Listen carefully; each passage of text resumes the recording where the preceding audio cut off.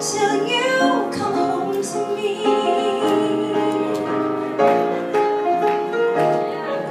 Some gingerbread.